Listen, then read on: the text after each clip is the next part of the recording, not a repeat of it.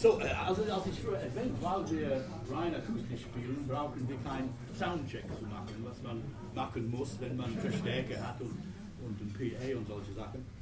Und äh, diese zwei äh, Philippine Benefit Konzerte in der Lime Lounge war mit Verstärkung und wir mussten Soundchecks machen. Und äh, wenn wir den Soundchecks machen, dann habe ich etwas gespielt und Christian Schuster hier, der aus, ursprünglich aus Rumänien kommt und in Bad Godesberg lebt und wir kennen uns seit Jahren und haben selten Möglichkeiten gehabt, zusammenzuspielen. Aber auf diese Soundcheck hat es per reiner Zufall geklappt. Vielleicht klappt es ja nochmal. Ich bin zuversichtlich. Ich bin sehr zuversichtlich. Aber das bin ich von Natur aus.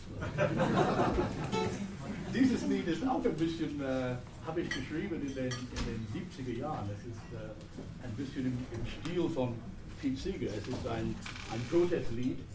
Ich habe es genannt den 1001 Protest-Song, äh, weil es ungefähr 1000 vorher gab. Und es, es ist ein Lied über, über das Leben mit zu viel Hass und zu viel Krieg und kann man etwas dagegen machen.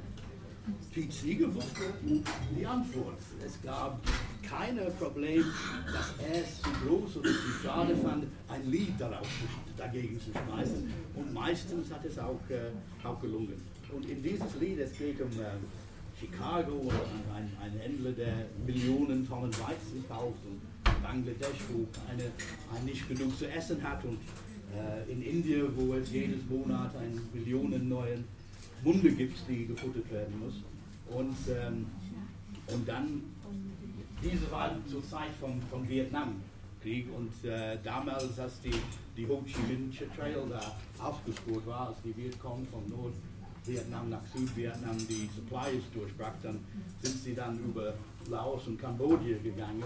Und, äh, und dann hat die, die USA da ein paar Bomben da runtergelassen. Und ähm, ein paar Leute sind, sind da gestorben, obwohl sie direkt nicht an dem Krieg beteiligt waren. So.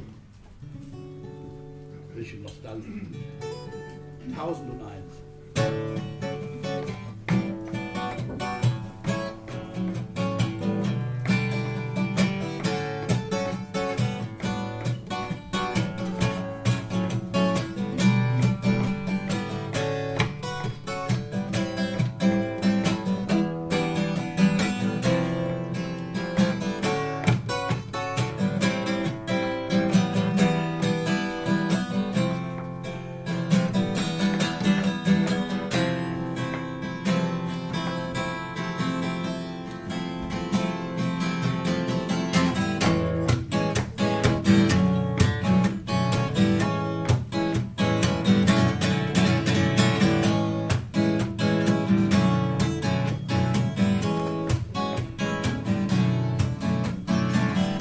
Why is life so strange? I can't understand it at all. I don't even want to try on my own anymore. How many times have you tried to swallow that lump that comes up in your throat? When you think about all the mothers dying and the children crying all alone. Broken bodies and minds that'll never mend again. Isn't it all such a shame? Isn't it all a great waste? Is it too late to start again? In Chicago, there's a man buying a million tons of wheat. In Bangladesh, a man don't get enough India, there's a million extra mouths a months to feed. Is that compatible with a rich man's greed? I don't think so somehow. There's so many things wrong, and people don't seem to care much at all. Why build tanks instead of tractors? The world must be blind, it should open its eyes and look at the pictures of hate, broken bodies, and minds that will never mend again. Isn't it all such a shame? Isn't it all a great waste? Is it too late to start again?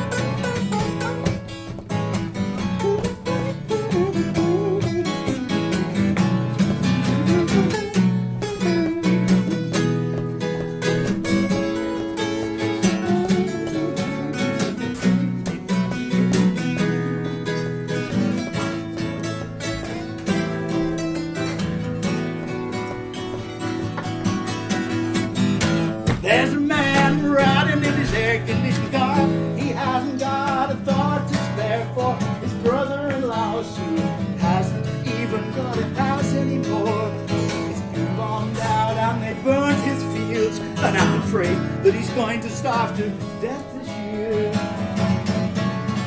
Shells made his wife and his children have known nothing but fear and strife for all of their short lives. Look at the pictures of hate, broken bodies, and minds that'll never mend again. Isn't it all such a shame? Isn't it all a great waste? Is it too late to start again?